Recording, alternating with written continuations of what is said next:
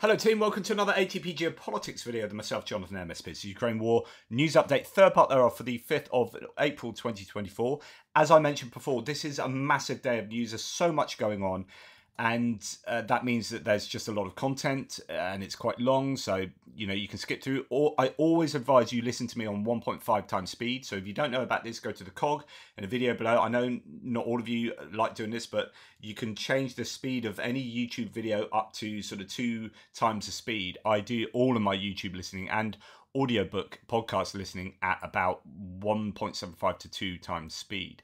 Um, so you can do that with this and it also cuts out my ums and ahings. Right, we're going to start with the UN and a bit of a correction, not by me, but by the uh, the UN Secretary General spokesman Stefan Dujarric. If you remember, yesterday I reported that he had a go at Ukraine for hitting oil refineries in Russia and he's been challenged on that. So he he condemned the hitting of civilian infrastructure, but I think it might have been a lost in translation issue.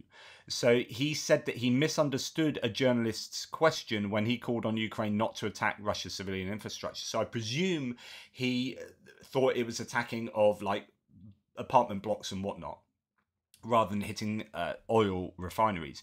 If asked again, I would not answer in that way, he told Voice of America. That's really good news because I was kind of annoyed that the UN had taken that stance.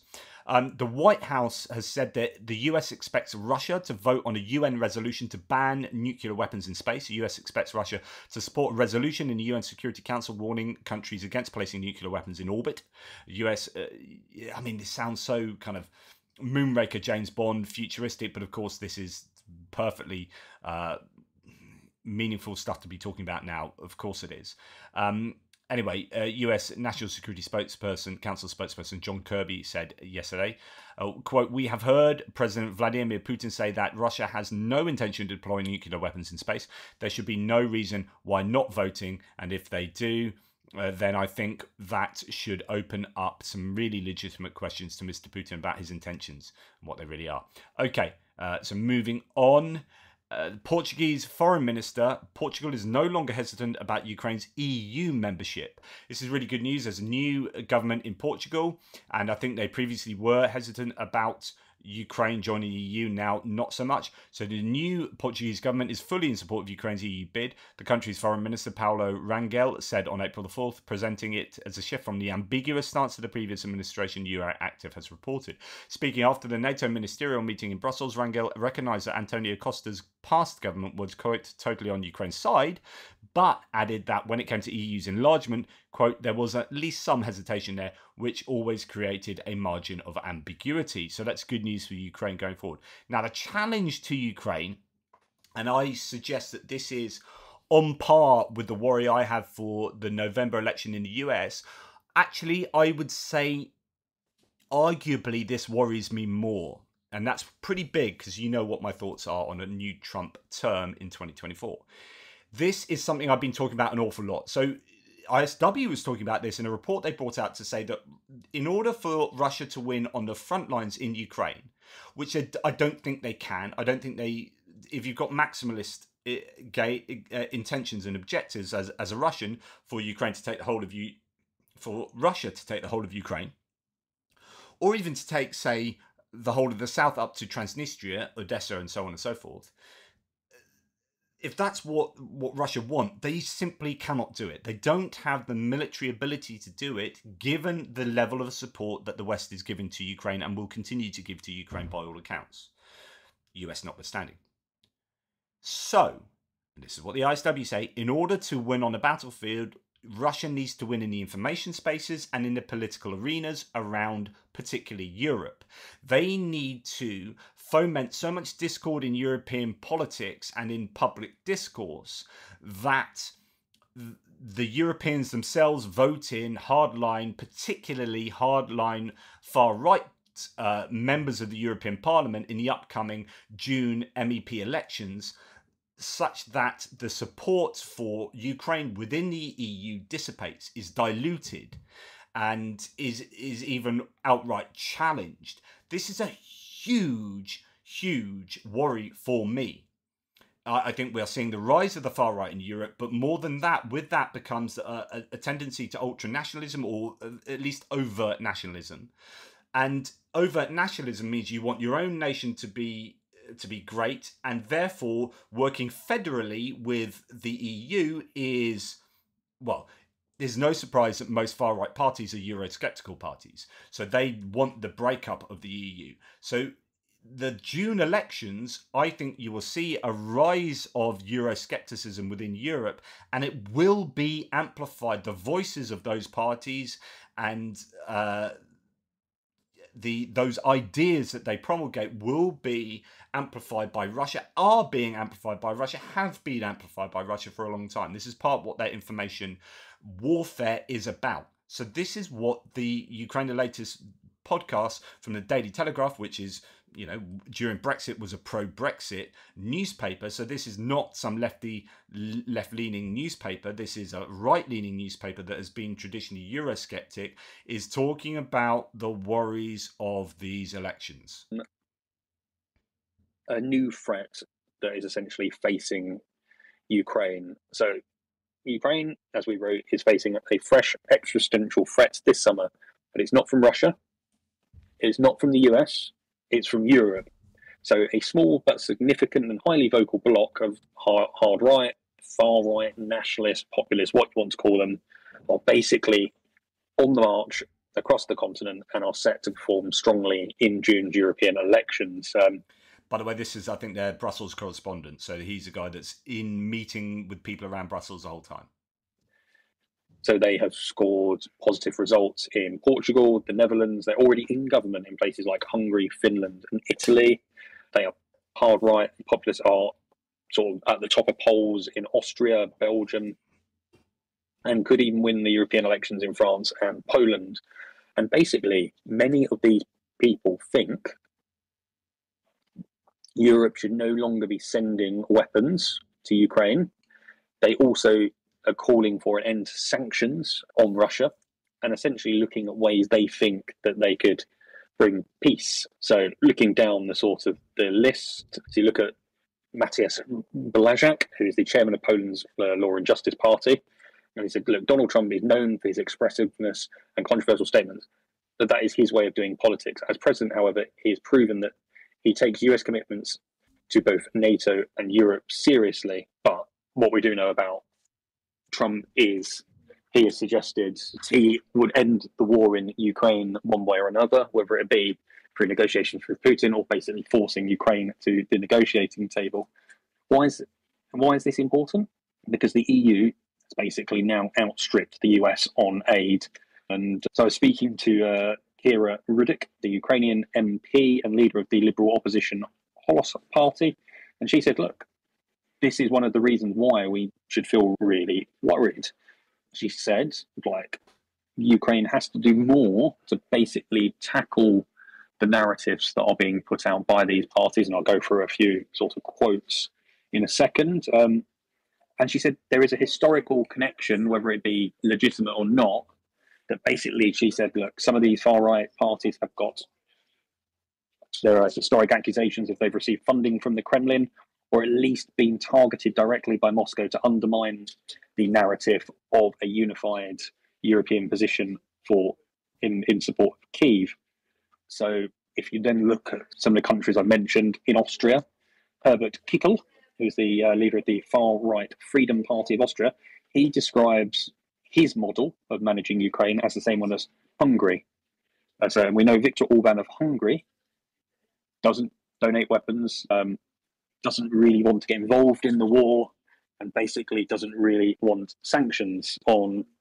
He hasn't blocked sanctions, he's probably helped to water them down, but EU sanctions are in place and he backs them, but he doesn't, he thinks they are basically nonsense. Then, if you look at Belgium, where I'm from, I interviewed Tom van Grieken, who is the leader of Vlaams Belang, who are polling top of the uh, Belgian national elections and for the European elections he has previously said, look, Putin is not black or white, but 50 shades of grey, not in hock with Putin as some nationalist leaders. And he actually went as far as basically saying, look, some of his right wing compatriots were wrong about the Russian leader because there's a lot of lots of sort of right wing figures who see Putin as a strongman leader, nationalistic, and as as their kind of leader. He said, "Look, Putin is a real bastard invading another sovereign country. He really did something terrible. He's not a patriot. He's an imperialist." But so the leader of Amsterdam went on to say he believes Belgium and other Western nations should halt arms shipments to Ukraine in order to end the bloodshed. He said basically the only thing that is stopping that would stop the war is stop to halt to the Western supply of weapons because that would basically render Ukraine's fight uh, sort of yeah, it'd make it impossible this makes me so angry. So that leader of the right wing party in Belgium, who on the one hand says, "Yeah, Putin is a bad guy." Yeah, and actually, some of my friends who are quite pro Putin, they're wrong. He is the bad guy. But then goes on to say, but the only way we're going to stop this war is by stopping help to Ukraine. And the, the analogy is the old woman across the street getting mugged again, which is like, I could stop that old woman getting mugged by that thug who is beating her up. And I can see that the thug beating her up is the bad guy, and that's terrible. No, you shouldn't be doing that. But the only way to stop this is for me not to help and to let him beat her up and steal her purse and leave her bloody pulped body on the floor. That's the only way to stop this war and bring about peace. That then we'll have peace. So we need to stop helping the old woman. We need to stop doing what is right and and sue for peace. And peace is you carry on doing what you're doing over there, guys. Oh dear, without any help, that old lady's going to get the crap kicked out of her. But we'll have peace eventually because a thug will take her purse, leave her body on the floor, and then run off and spend her money.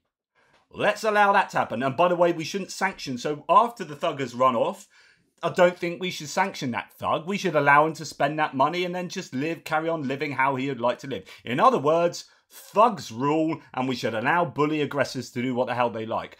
I freaking despise this, and this is why I am super worried about the rise of the far right in Europe because it's this kind of thinking that that allows for imperialism to take hold. It allows for Russia. You might give the whole rhetoric of, yeah, Putin's a bad guy, but essentially he can do what the hell he likes. This is terrible. I am super worried about June. Like, I'm more worried about the, uh, the European elections in June than I am about what takes place in in November in the US. And for those of you who are prepared to write vote for these parties, and I've spoken to some of you on the threads, uh, just beware that do you know what if you you might you might be all up for that kind of nationalism within your country but if if you are also pro Ukraine you are voting for the wrong party certainly in the context of being pro Ukraine it is super worrying. And it is it is morally flawed. It is simply that argument what that leader of the Belgian far right party has said is wrong it's just morally wrong and that's something that's sort of shared in Germany. So Maximilian Krah was looking at, he spoke about a pro transatlantic, anti Russian approach with the riot. And it looks like how things be done in Ukraine and like preparing for war with Taiwan. Basically said, look, it's not really our, our thing to be like getting involved in. So that. It's not really my thing to be getting involved in when people are getting beaten up in my community and and it's not really my thing to allow thugs to do what they like in kicking the crap out of old ladies just stealing stuff. It's not my thing. It's not my thing to do that. It's not, it's my thing to sit around and let society degenerate. That's my thing. Just look out for myself. Hey, if you attack me, I'll fight back. But you can attack anyone else. Just go and kick the crap out of them. That's fine. My thing is just, you know, sit back and watch with some popcorn. I love watching a bit of war in my world. Man. That is what I'm we've been writing about, and I, so I can take any questions. But I, I just think it's interesting to look at how a big election surge for the hard right, the nationalists, the patriots, as they like to call themselves, populists, whatever we want to call them, far right, could actually have repercussions on getting aid for Ukraine through. So, like in the Congress, it's blocked by a group, a small group of Republicans. The bigger the right wing, conservative, hard right, far right group becomes in Europe, will make it harder for the EU to do business in support of Ukraine. And I'll stop there. Joe, that's fascinating. Thank you for. It's so worrying. And part of the problem is it's very difficult. This is what happened with Brexit, right? Uh, and I don't want to, I'm not derailing it with Brexit, but just the idea that I think people find it harder to campaign for the status quo. So if something is is working fairly well, so the EU was working fairly well, needed some reforms here and there, but people weren't prepared to sing the praises of the EU. I remember when um, there are certain areas of the UK, I think it was Cornwall and Devon actually, who voted predominantly against uh, the EU, voted for Brexit, but they had loads of signs up around saying this whole thing was paid for by EU money and this and and they were like oh we're no longer going to get that money. So after brexit happened they're like well we're not going to get that money anymore because of course no one had actually sold the benefits of the eu adequately enough. It all just became about immigration but nothing about well what does the eu actually do? What are the benefits we confer from being a member of the eu and the same needs to be done within europe which is like okay this is the security we get this is the unity we get this is a trade that takes place this is the money that you get this is the the the cultural benefit this is etc etc and and in in the absence of that anyone that comes up and says oh it's all freaking terrible that thing and then eh, you you start being adversarial everyone loves a bit of oh yeah yeah everyone loves a bit of criticism. Everyone loves a bit of change. Like oh yeah let's pull that down. It's easier to destroy than to create or it's easier to destroy than to maintain. And i think that, that this kind of situation with campaigning and psychology and whatnot plays into uh, uh, more adversarial politicking and uh, you know this grievance narrative that many hard right parties are going to be feeding into, and uh, I, and I think it, that's dangerous. And I think before you know it, the EU will be crumbling away, and uh, and people will be like, oh yeah, that probably wasn't a good idea. You know, twenty years later, it's a bit like UK at the moment. It's like, okay, what? How are all our trade deals doing? Oh, they're rubbish. Oh, and even the people that did the trade deals on behalf of Brexiteers are admitting that they're rubbish, such as the Australian trade deal, which is now admitted to, be just a, a, load of crack, cack. Um, so, you know, it's easier to promise a future uh, uh, with like prom- promissory notes. It's much more difficult to actually. I mean, it shouldn't be, but it just is. Just people aren't very good at singing the praises of the status quo. And I think Ukraine will suffer as a result. This is really serious. And and if you're talking about like I please go and check my chat with Silicon Kurt and Jonathan Fink on there from the other day, and we talked about the normalization of of this kind of um, adversarial rhetoric, and indeed the movement of the Overton window is what's now acceptable to talk about in in the public sphere that 50 years ago just wasn't acceptable to talk about. That normalization of these very fringe views has mean that stuff like this can be said. So nothing says today's GOP like MAGA Maine state representative Laurel Laurel Libby. So she's in Maine, which is you know fairly sort of moderate liberal leaning sort of place. But anyway, we have a MAGA representative asking what the Nazis did that was so bad and what did they do that was so illegal and how did they infringe on anyone's rights just incredible. I would like to know, although I'm not posing a question through the chair, I would like to know what they did that was illegal. I would like to know what they did in detail, if folks would like to share, that was wrong, that infringed on another person's right. Holding a rally, and even holding a rally with guns is not illegal. There you go. What did the Nazis do that was so illegal? What's wrong with holding rallies with guns? What's wrong with getting like 10,000 people together with guns that are really angry about something? What could possibly go wrong? Why would we want to legislate against that? Uh, the rise of the right. Um, uh, far right, sorry. Uh, right. On with that in mind, there is a rumor that there may be a couple more House GOP resigning next week, and that could shift, as I, I talked about previously, shift the uh, the balance of power in the House of Representatives. Um, Yeah, as Thomas Kane has said, said previously, each of the House Republicans has to decide whether to resign immediately and let the Democrats take control, or they can continue on and always be remembered for being part of the Nazi like Republicans who tried to destroy democracy for Trump. Okay. There's a lot of rhetoric going on here, but then when you look at overt, like fascistic, uh, em- empathizing statements going on, uh, then it does make you wonder. But there could be an interesting shift in in the House of Representatives. Um, now, let's go and do so we criticize the the the far right. Let's criticize some in the biden administration. And we're going to criticize particularly jake sullivan here because i think he is and he's long been rumored to be the guy who's anti-escalation who is holding the biden administration back from doing more than it than it is presently and has done is presently doing and has done. So no report says not Biden's, but Jake Sullivan's mental state should be checked after more than two years still falling up for Putin's nuclear talk, exactly what Putin wants.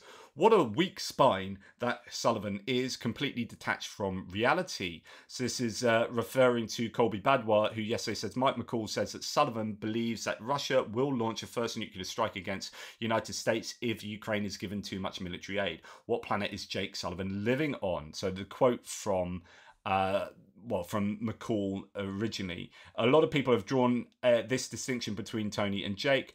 What do you think is Jake's logic in this? So, Jake is, he's overly cautious, he's very timid, and he's bought into this notion that, well, if we give them too much, then Russia's going to use a tactical nuke on us.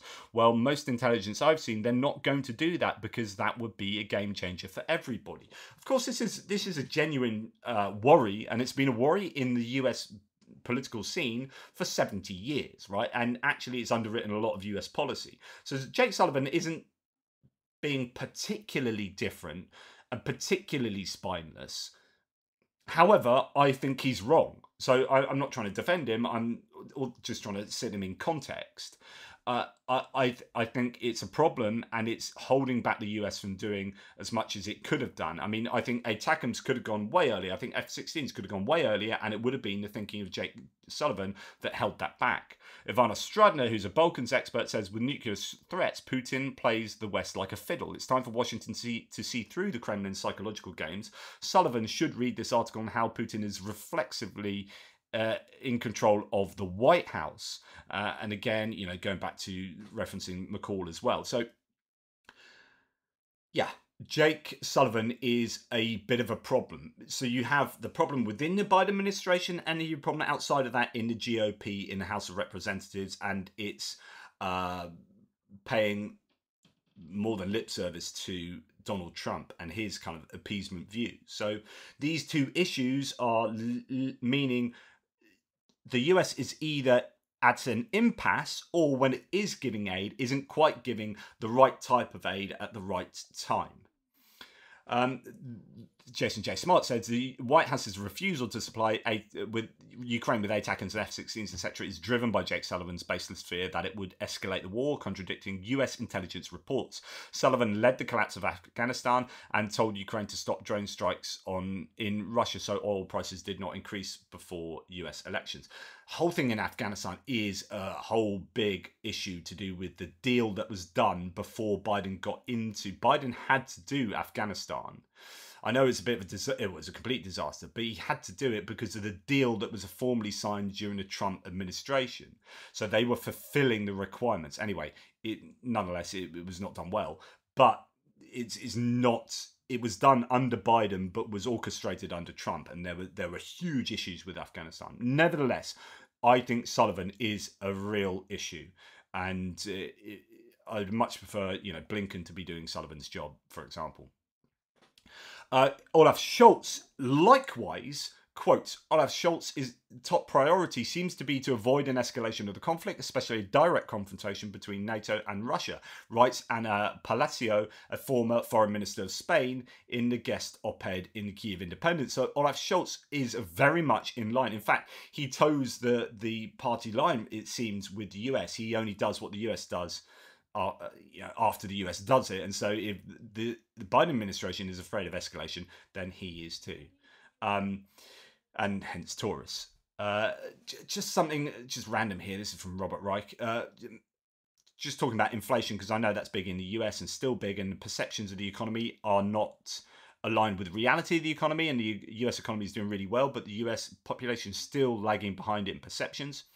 But there is this thing about inflation and, and blaming inflation on, say, I don't know, Biden or oil, gas prices, this and that. But memo to the media please don't say inflation is at a 40 year high, you know, which it has been, without also mentioning that corporate profits are at a 70 year high. Give people the full picture. I talked about this previously when uh, we had a situation in the UK when uh, our hydrocarbons industry, our fossil fuels industry, were making record profits. Our energy distribution industries were making record profits. So yeah, BP's literally telling shareholders, "We've got so much money, we don't know what to do with it." Meanwhile, this is the beginning of the war when fuel prices, energy prices went sky skyrocketed. They said, "We've got more money than we know what to do with," and then people couldn't afford energy, and we had to have um, Ofgem, the the uh, UK jet. Um, regulator for the energy market producing a, a, charity to pay people that couldn't afford to pay their energy bills. Meanwhile, BP was saying we've got more money than we know what to do with, and British Gas and other distributors were saying, well, we're making record profits. So you're making record profits. I'll tell you what you can do with that money. You can reduce your profits and reduce the price of energy for consumers. And so there needs to be real careful talk here about like what's going on when we're complaining about inflation and yet corporate profits are at 70 year high. And you get then you get the inflation wage spiral that kicks in. And so you know when the economy does really well inflation goes up because everyone has money and they're spending more money. But of course you know there's also something to be said about corporate profits that are way over and above what they necessarily need to be. And yeah, okay, we get big discussions about tax and whatnot, etc., etc. Okay. No reports uh, reports that NATO uh, foreign ministers have decided to establish a NATO mission. Uh, that's coming from Sikorski, Polish foreign minister. "Quote: We decided to create a NATO mission.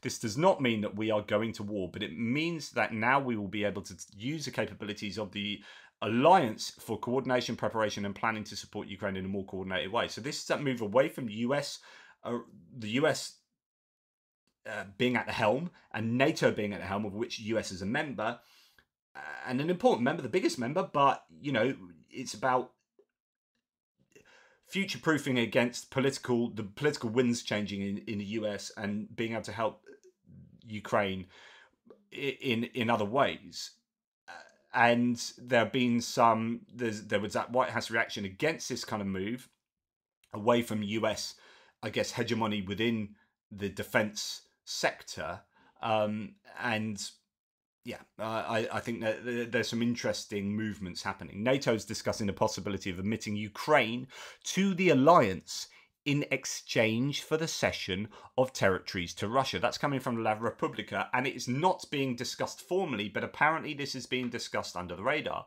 which is to say, uh, the way I understand it is okay, you give Russia Crimea and the Donbass, and we will give you, NATO, you will be part of NATO straight away. And if that happens, yeah, it sucks that you've lost all of this territory, and it sucks that you've lost Crimea formally, but you won't lose any more because if Russia attacks anymore, you will be uh, supported by Article 5. I don't know what you guys think about that. Let me know. I think it's unfair, but it also secures them going forward. So there is some give and take there. Although this option is not an official position, it is being discussed informally and is becoming increasingly realistic, says NEXTA, especially in light of the upcoming US elections. As the newspaper points out, Russia will be offered to retain Crimea and all the territories that were captured over the past two years. Then the borders will be fixed and Ukraine will be accepted into NATO. This scenario, according to journalists, is reminiscent of the situation after World War II when Germany was divided into eastern and western parts. The article indicates that such a scenario would speed up the release of aid to, to Kiev, which is currently blocked in Congress, especially in anticipation of Trump's possible return to the White House. Lots of controversy you can see in that that suggestion. Uh, the German people overwhelmingly support NATO, according to new numbers. 82% support NATO uh, in being important to preserve peace in Europe. 69% consider the military alliance with the USA to be in European interest, and only 9% think that NATO is redundant and should be dissolved. And that'll be those, uh, I guess, supporting uh, Russia in inside uh, Germany. Now, going on to a, a, bunch of stuff on France, I quote, I really want the Euro Atlantic area to listen to President Emmanuel Macron and take his words seriously. And that's the words of Dmytro Kuleba, the foreign minister for Ukraine. Uh, what upsets me is that I always have to convince when everything is obvious. If a part of Europe thinks that war is not is not its home. It is making a big mistake. Today, strong and regular decisions must be taken on the strengthening of the army and the possibility of Ukrainian advances on the front. So uh, uh Dmitry Kuleba is very formally saying France is is on the right track here and very clearly stating what should be obvious. Um, here we have actually before we no no we are going to get this so uh, this is Benjamin Haddad saying, I've just returned from Kiev and Odessa, and it's clear that we're currently in an existential turning point for Europe. Whether we say to ourselves that the Americans will no longer be there in the near future and we push Ukraine into a negotiation with Russia that's unfavorable for Ukraine, see before, with disastrous consequences for our security, hmm, and a precedent that this will create throughout the world. Either we give ourselves as Europeans a means to take charge of our security by giving the Ukrainians everything they need to win this war, and we change our software in the balance of power with Putin. We've been setting our own red lines for two years without setting any for Putin. We are waking up in Europe and turning the tables. This is absolutely on point, and it's really important that Europe do this before those June elections. Europe really needs has got a very short amount of time to make sure that red lines are set out for Russia and that you, that Ukraine has as much as it can do now rather than risking not being able to do it later. Um, some more French stuff here. It's essential that Russian athletes do not feel welcome in France. These are the same words used by Anne Hidalgo. She's, she's a mayor of Paris during her visit to Kiev at the end of March. However, her position differs from that of the French government, which is in line with the IOC doctrine, so the International Olympic Committee, that athletes cannot be held responsible for the actions of the, their leaders. The Ukrainian minister gives his interpretation. Quote, We are counting on our French partners not to own, not to take any decisions that would make it difficult or even impossible for our athletes athletes to take part in Paris. Uh, Ukrainian athletes, that being. Matvey Bidny, the Minister of Sport, is also making sure that Ukraine is closely following the work of the IOC Evaluation Commission, which is responsible for verifying the eligibility of qualified athletes. Quote, My ministry has a database of 800 names of Russian and Belarusian athletes, coaches, and sports executives who support the Russian war and propaganda machine. We are providing all this information to the IOC. So it's not it cuts both ways this one so the ioc can't say you can't hold athletes responsible for the decisions of the government and yet allow athletes in who are saying I support what the government is doing, and I've actually been part of the war machine as a, as a soldier or part of the armed forces, as many of the Russian athletes are, or Belarusian athletes are. So not only do I support the war effort physically in what I do in a day job, but I vocally, rhetorically support the war effort, and I've even done fundraising for the Russian war effort. So you can't you can't say right athletes are different from the government and then allowing a bunch of athletes who are essentially on par like part of the government part of the armed forces and advocating everything the government do. So it cuts yeah it cuts both ways guys. French company still on france danone massive massive uh, corporation this starts dissolution of its last subsidiary in belarus. French dairy products company danone mm, danone launched a dissolution of its last subsidiary Danone Bell, um, according to independent Belarusian media. Uh, yeah, it's a long time coming. These things might take just take a long time. Better now than never, uh, I would say. Finland, and, and, of course, the food industry is not so much sanctioned as other other industries concerning Russia and Belarus. Finland decided that the land border crossings between Finland and Russia will remain closed uh, from April the 15th. In addition, the water traffic border crossings at Haapasaari uh, and Nuijamaa ports and Santio will be closed to pleasure craft traffic from April the 15th. Good stuff. Ukraine's Prime Minister Denis Shmyhal arrived in Lithuania on April the 5th, so today, to speak to his counterpart. And we've heard of some uh, stuff coming out already in the military aid segment in the previous video. Russia, says Jean Kiev, is not only trying to cause commercial airline disasters in Europe, but now train disasters as well. Meanwhile, Ukrainians were willing to wipe the floor with Russia if merely provided the weapons that are still being withheld. And this is uh, re- reacting to the news from the Financial Times that Prague claims thousands of Russian attempts to interfere with EU rail networks. So apparently, uh, Czech government today has said that that, that Russia is in the same way that their cyber warfare efforts have been trying to uh, damage the hospitals in France, and there have been attacks. There have been various attacks all over Europe, but the latest one is on the rail uh, sector, which is, as I've said before, that is war. Like that's the same as dropping a bomb on a railway track. Like it's functionally the same. You you stop railways from from working because you've screwed the uh, the IT infrastructure. It's the same as stopping railways from working from screwing the physical infrastructure. There's no functional difference. That is war. What are we doing about it? Japanese CEO with links to Vladimir Putin's inner circle found dead in a five star Moscow hotel. This is the CEO of Yamaha Music, I believe, uh, was found dead, but he does have links to uh, to Putin. So you know, there you go. It's not unusual. And staying on Japan, the Japanese government has announced today that it's decided to ban exports of uh, 164 goods to Russia, such as uh, auto engine oil and optical equipment, according to Japanese media. The ban, which will take effect from the 17th, will be implemented as part of Tokyo's sanctions against Russia due to its aggressive aggression, sorry, against Ukraine. Good news, Japan. Now, sanctions do cut both ways, talking about cutting both ways already, as I have done. UK intelligence has said that Russia has seized 180 Ukrainian companies worth an estimated 11.5 billion euros since the beginning of the invasion. The report also highlights Russia's redistribution of those assets to Kremlin aligned business people who support the war in Ukraine and so the oligarchy is maintained and they are helping themselves to Ukrainian businesses. Or, to be honest, that's what you would expect given that Ukraine has done similar to Russia.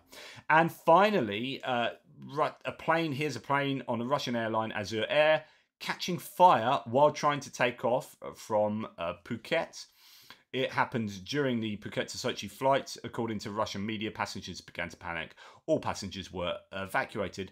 This is the aviation industry suffering sanctions biting and continuing to do so. It's, uh, I, as I keep saying, or I said a number of times recently, I think the screw is turning somewhat on the Russian economy, on society, uh, and I hope it does. I hope the Ukrainians continue to hit oil refineries and, and military bases and substations as well. Electricity substations are, are blowing up here here and there, and so yeah, I hopefully the discontent amongst the uh, Russian population will continue to rise and get to a critical point. Hope can hope springs eternal though.